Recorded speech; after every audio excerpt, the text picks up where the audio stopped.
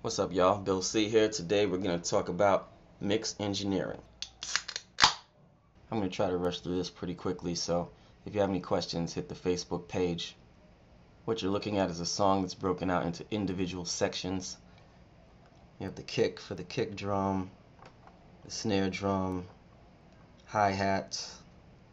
You have two tracks for guitars because it's double tracked it's generally better to double track guitars than to just copy audio from one track to the other. After that you got however many vocals you need. Then I have a harmony effect that basically adds width to the vocal. I have a submix for all my instruments. I have a submix for all my vocals. I have reverb which I'm going to feed from both of my submixes. I have my output and my master control. The reason you want to break it out like this is you want to be able to put different effects on each element of the song. So I've set up a loop and what I'm going to do is I'm going to change the audio from what it originally sounded like to what I want it to sound like when I'm ready to print it.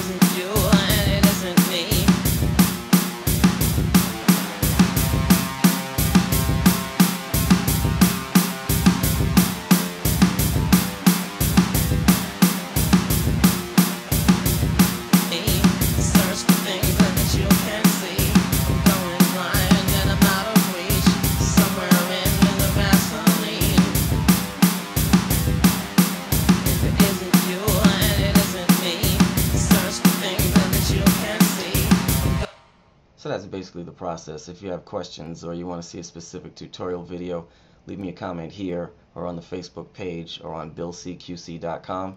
That's it. I'm out. Peace.